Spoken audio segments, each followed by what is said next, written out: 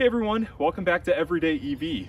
For today's video, I have more of an informational storytelling style video for you guys.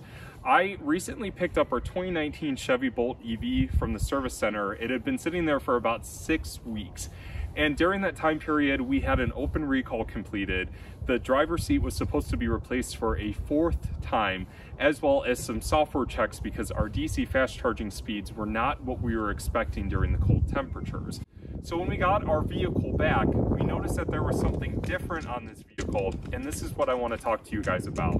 Today's video is not exposing anything, it's not an expose. I will not name I will not be name dropping any service centers, any workers that I've talked to, um, but I will be discussing some of my experience with Chevy's customer service and hopefully informing other Bolt EV drivers and potential owners that this could be happening to you guys as well, and you may have no idea that this is happening. That's what happened to me. I was not told, and um, I want to tell you guys about this.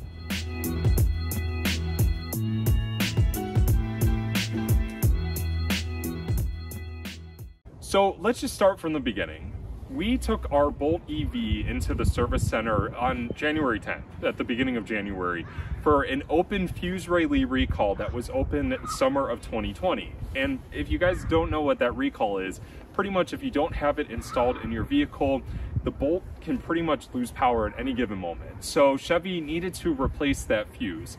Our driver's seat needed to be replaced again for a fourth time, and as I mentioned before, we were seeing slower than usual DC fast charging speeds. And yes, I know it's winter time, but I did get that DC fast charging robustness software update installed on our 2019 Bolt.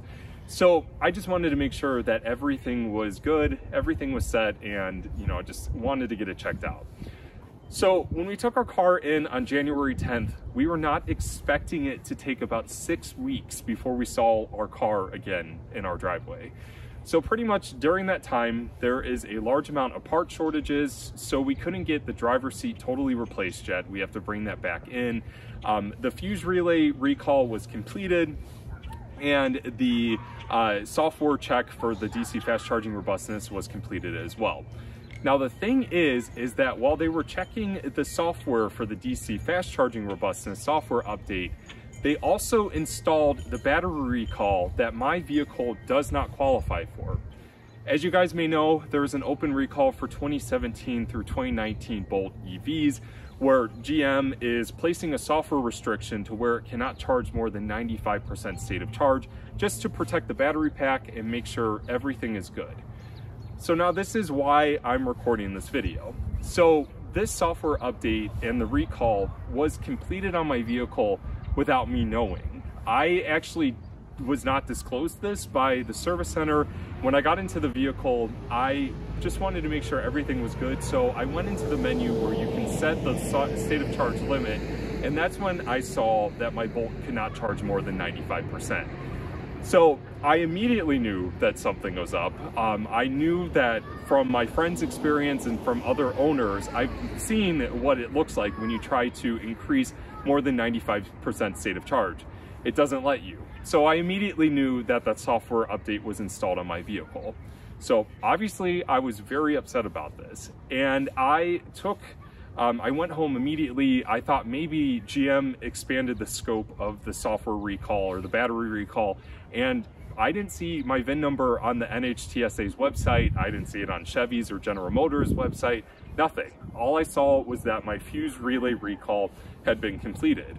So immediately I knew that something was up. Like, obviously, they didn't disclose this with me. This was something that was concerning to me, that they may not be telling other owners that they're doing this. And in fact, that's what's happening. I went to, um, I ended up calling customer service, uh, Chevy's customer service, and I will tell you, their customer service is not the best. Um, they told me that they would reach out to the service center, and they never did. Uh, nobody got back to me through Twitter. It was just back and forth, back and forth. And it was just a very long ordeal over the past few weeks trying to figure out what had happened to our car. So finally, I got a hold of the service director at the service center that I took our Bolt to, and that's when I was disclosed information that my car got that software update. So pretty much what they're doing is that if you bring your car in for anything that's software related, whatever software update that General Motors has released recently gets put on your vehicle. And what happens to be the most recent software update? The software battery recall. And that's what gets put on these vehicles. So, from my understanding, there are brand new bolts sitting out on the dealership lot, and those have been restricted to 95% as well. It seems like Chevy is doing more of a blanket coverage for this recall, and they're not necessarily disclosing it to consumers. And that's one thing that I think is wrong, and I think that that's one thing that needs to be addressed. Um, as you guys know, our ownership experience has not really been the best. It's been very up and down over the past two years, and this one kind of just, you know, topped it all off. Um, I genuinely love driving this car as a commuter vehicle. It's a fantastic car.